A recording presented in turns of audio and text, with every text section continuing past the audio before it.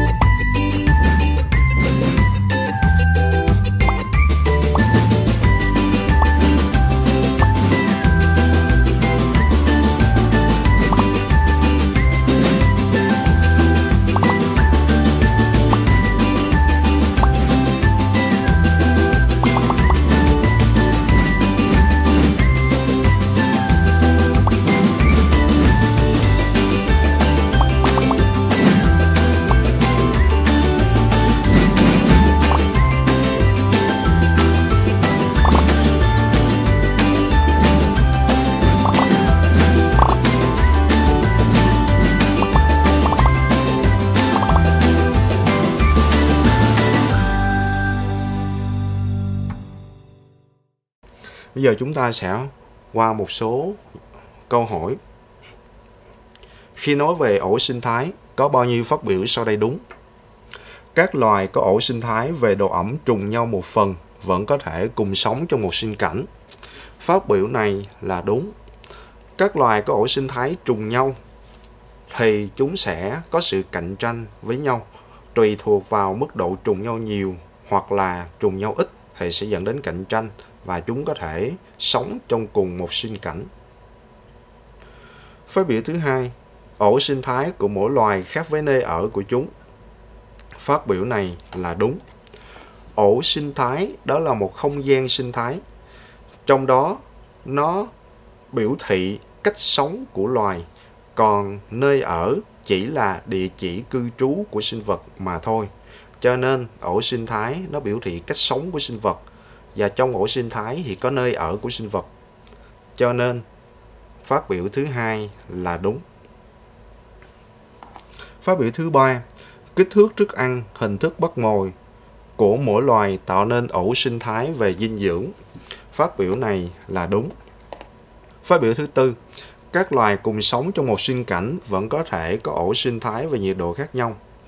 Mặc dù trong cùng một sinh cảnh, nhưng mà nhiệt độ ở các vùng của sinh cảnh đó vẫn có thể khác nhau, cho nên các loài vẫn có thể có ổ sinh thái khác nhau về nhiệt độ. Cho nên phát biểu này là đúng. Tóm lại, câu này là cả bốn phát biểu đều đúng hết.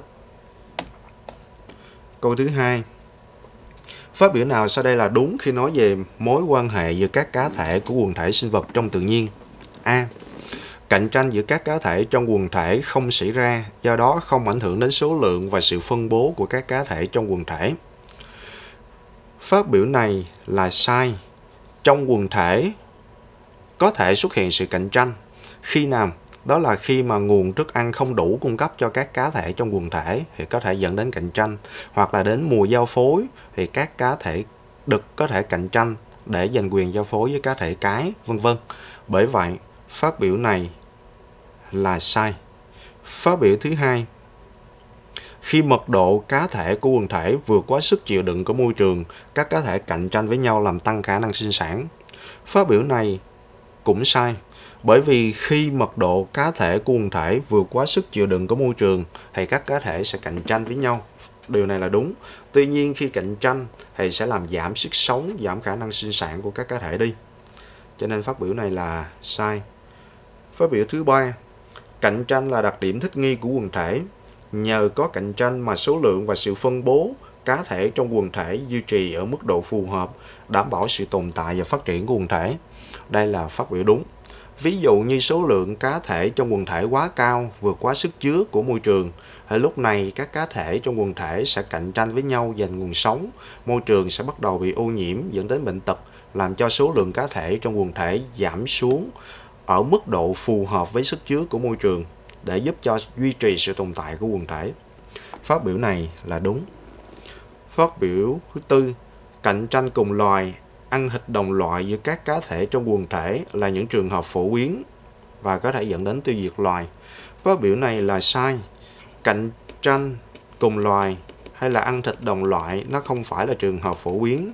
nó xuất hiện khi mà sức chứa môi trường không đủ để mà cung cấp cho các cá thể trong quần thể hoặc là ăn thịt đồng loại đó là do tập tính à, của một số loài động vật mà thôi.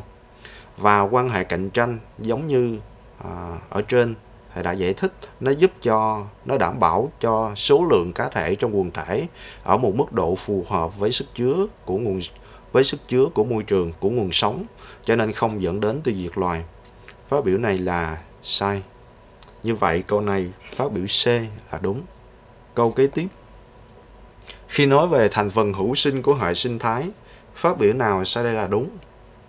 Thành phần của một hệ sinh thái được chia thành hai nhóm, đó là thành phần vô sinh và thành phần hữu sinh.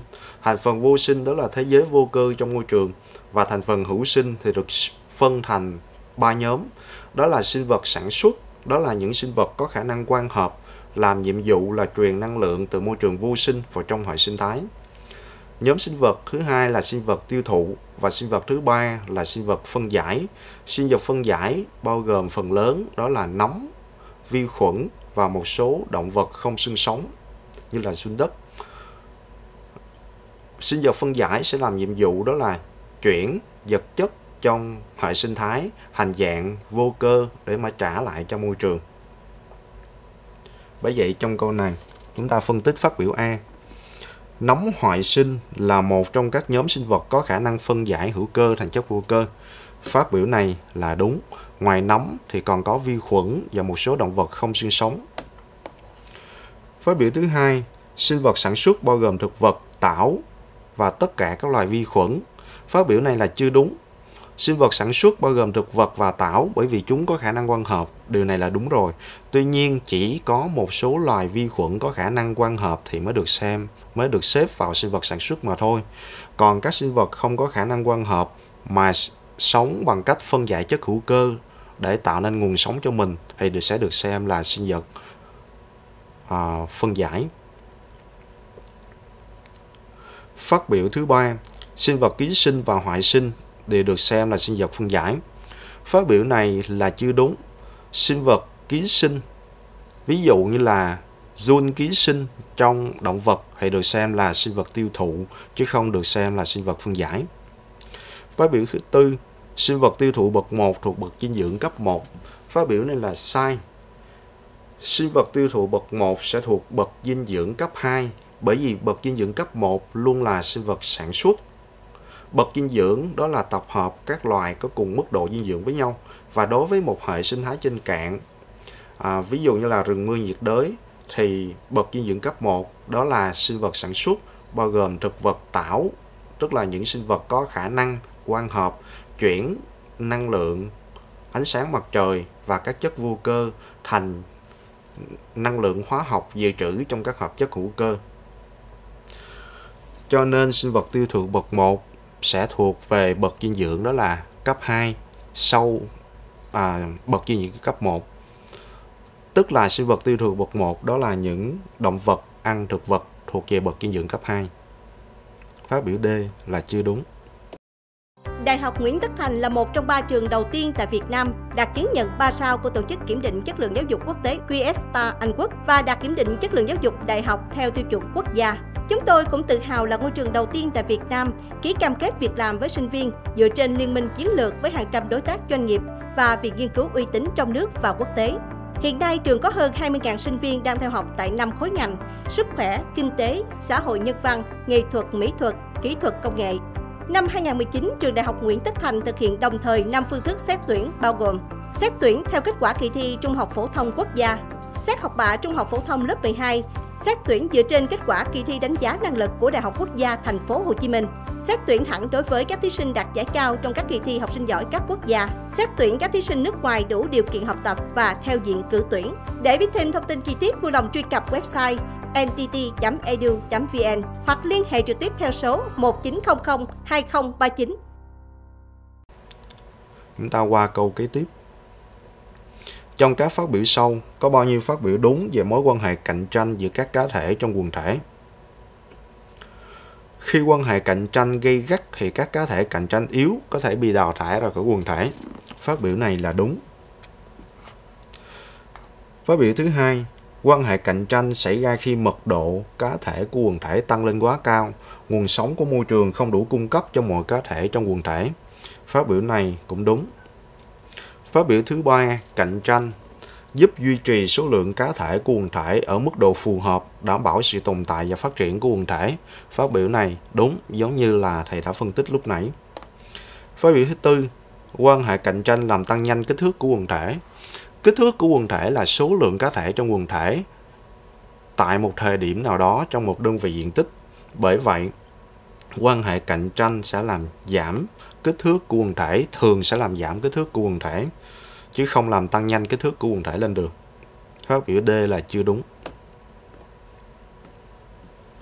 Câu kế tiếp. Giả sử lưới thức ăn sau đây gồm các loài sinh vật được ký hiệu là A, B, C, D, E, F, G, H, I như hình bên. Cho biết loài A là sinh vật sản xuất, loài E là sinh vật tiêu thụ bậc cao nhất. Hỏi có bao nhiêu phát biểu sau đây là đúng. Một lưới thức ăn này có tối đa 5 chuỗi thức ăn. Gặp những câu này, chúng ta chịu khó mất thời gian xác định số chuỗi thức ăn mà thôi. Thật ra cũng không mất nhiều thời gian nếu như mà mấy em tập trung, mấy em làm. Ví dụ như trong lưới thức ăn này, chúng ta sẽ thấy có những chuỗi thức ăn sau đây. Đó là A, B, C, D, E, A, F, D, E, A, F, E và A, G, F, D, E. Và cuối cùng là A, G, F, E. Và cuối cùng là A, G, H, I, E. Như vậy có tất cả là có 6 chuỗi thức ăn. Trong lưới thức ăn này, phát biểu này là sai. Phát biểu thứ hai có hai loài tham gia vào tất cả các chuỗi thức ăn. Mấy anh thấy 6 chuỗi thức ăn hãy vừa liệt kê thì có hai loài A và E là đều tham gia vào cả 6 chuỗi này. Cho nên phát biểu thứ hai là đúng. Phát biểu thứ ba, loài D có thể thuộc bậc dinh dưỡng cấp 3 hoặc cấp 4 mấy nhìn vào chuỗi thức ăn đó là A, B, C, D, E hay lúc này D thuộc về bậc dinh dưỡng cấp 4. Còn nếu như D trong chuỗi thức ăn là A, F, D, E hay lúc này A sẽ là bậc dinh dưỡng cấp 1, F là bậc dinh dưỡng cấp 2, D sẽ là bậc dinh dưỡng cấp 3. Cho nên phát biểu thứ ba này là đúng. D có thể thuộc bậc dinh dưỡng cấp 3 hoặc cấp 4. Phát biểu thứ tư Loài F tham gia nhiều chuỗi thức ăn hơn loài G. Lúc nãy mấy em đã xác định được các chuỗi thức ăn. Thì mấy em thấy loài F có thể tham gia vào các chuỗi thức ăn. Đó là A, F, D, E là một chuỗi.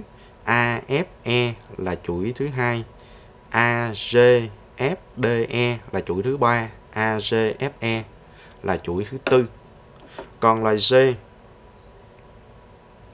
thì tham gia vào chuỗi đó là A, G, F, D, E là một chuỗi, A, G, F, E là chuỗi thứ hai và A, G, H, I, E là chuỗi thứ ba.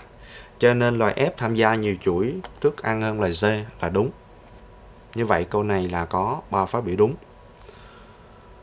Việc phân tích lưới thức ăn này nếu như mem tập trung và um, phân tích thì sẽ không mất nhiều thời gian trong quá trình làm bài của mem. Và việc phân tích lưới thức ăn này nó cũng không quá phức tạp đối với các em. Chúng ta qua câu kế tiếp. Cho chuỗi thức ăn sâu. Tảo luộc đơn bào, tôm, cá rô, chim bối cá. Khi nói về chuỗi thức ăn này có bao nhiêu phát biểu sau đây đúng? 1. Quan hệ sinh thái giữa các loài trong chuỗi thức ăn này đều là quan hệ cạnh tranh. Phát biểu này là sai Quan hệ giữa các loài này là mối quan hệ sinh vật này ăn sinh vật kia. Phát biểu thứ hai, quan hệ dinh dưỡng giữa cá rô và chim bối cá dẫn đến hiện tượng khống chế sinh học. Phát biểu này là đúng. Bởi vì, ví dụ như số lượng cá rô mà tăng nhanh, thì lúc đó chim bố cá sẽ có nguồn sống dồi dào cho nên số lượng chim bố cá cũng sẽ tăng. Và khi số lượng chim bố cá tăng thì lúc đó cá rô sẽ bị tiêu diệt càng nhiều cho nên số lượng cá rô sẽ giảm xuống. Đó chính là hiện tượng khống chế sinh học đảm bảo cho số lượng cá thể trong quần thể dao động quanh một mức độ cân bằng phù hợp với sức chứa ở trong môi trường. Phát biểu thứ hai là đúng. Phát biểu thứ ba, tôm, cá rô, chim mối cá thuộc bậc dinh dưỡng khác nhau. Đúng rồi trong chuỗi thức ăn này thì chúng ta có thể thấy tảo lục đơn bào thuộc về bậc dinh dưỡng cấp 1, tôm là bậc dinh dưỡng cấp 2, cá rô là bậc dinh dưỡng cấp 3 và chim bố cá là thuộc về bậc dinh dưỡng cấp 4. Cho nên tôm, cá rô và chim bố cá thuộc các bậc dinh dưỡng khác nhau. Phát biểu thứ tư, sự tăng giảm số lượng tôm sẽ ảnh hưởng đến sự tăng giảm số lượng cá rô. Phát biểu này là đúng. Giống như trường hợp ở trên, thầy đã phân tích đối với cá rô và chim muối cá. Tóm lại câu này có 3 phát biểu đúng. Đây là một số vấn đề à, thầy ôn tập trong phần sinh thái học. Còn nhiều nội dung khác thì mấy em cố gắng đọc qua trong sách giáo khoa của mấy em. Cảm ơn các em đã theo dõi. Chúc các em nhiều sức khỏe, ôn tập thật tốt và đạt kết quả cao trong kỳ thi sắp tới. Cảm ơn các em. Trường Đại học Quốc tế Sài Gòn SIU đào tạo đa dạng, đa lĩnh vực. Tất cả sinh viên đều có cơ hội để thể hiện và phát triển năng lực. Những ý tưởng luôn được khuyến khích và phát huy tối đa. Một môi trường lý tưởng để sáng tạo, để trải nghiệm, để thử thách bản thân. Hiện đại, năng động và hòa nhập quốc tế, nhưng vẫn giữ được bản sắc dân tộc. Đó là triết lý giáo dục mà Đại học Quốc tế Sài Gòn SIU luôn hướng đến. Đã đến lúc vươn xa hơn những gì đã học.